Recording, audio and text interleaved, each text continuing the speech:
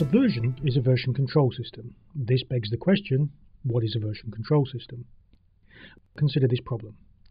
If you have a collection of files, source code for a piece of software, as you correct defects and develop new features in your software, these files change over time. Files may be renamed or move around the directory structure. New files and directories are created, and old ones are deleted. As you make these modifications to your file system, you overwrite the previous content. So the files on your file system always represent the latest version of the software, and older versions are lost forever. The obvious problem with this approach is that you might make a mistake, and if you do, the only way back is for you to remember what you changed and edit the files back to their previous state. This might be possible for recent changes that involved only a few lines of code in a few files. It becomes increasingly difficult to reverse a change as the number of files involved, the complexity of the edit, and the time since you performed the change increase.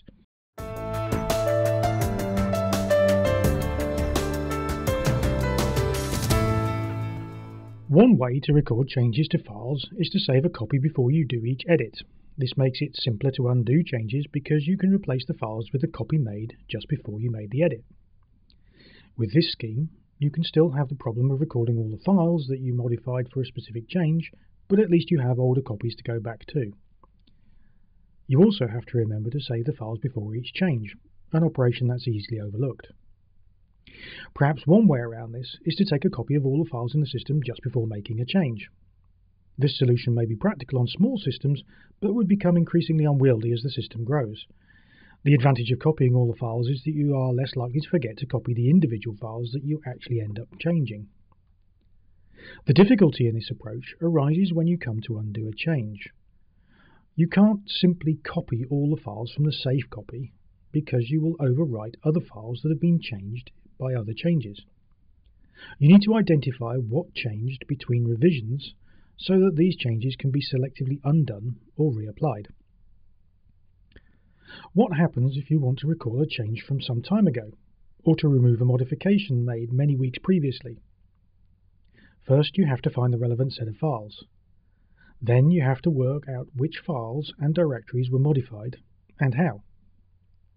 Then you need to apply these changes backwards to your current revision of the files and folders. This may seem simple, but what if one of the files changed has been renamed or moved by another change? You would need to look through every intervening change to be sure, and even then, how would you know the files had been moved and not simply deleted and a new file added?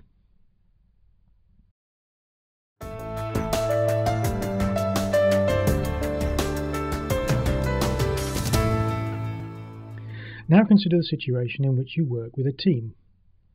You're each making changes to the code. Sometimes these changes will mean modifying the same source code. So, how can you manage this? You could all take copies of the source code, make your own changes, and then copy your changes back into some central file system. Of course, you can't simply copy all of the files back into the main copy because you may overwrite submissions already made by your colleagues. What about controlling the versions in the main copy?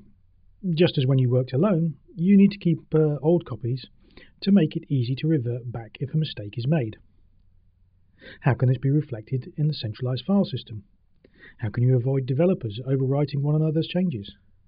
How can you keep older copies consistently and safely? When you make a change to the central copy of the files, all your colleagues will need to be told that they need to ensure that they have included your changes in their copy before they put them back into the central file system. Otherwise, they may overwrite the whole or part of your change. They may also make changes that are incompatible with your changes, consequently breaking the central copy of the source files. Alternatively, you can all send changes individually, sharing your changes without the central copy.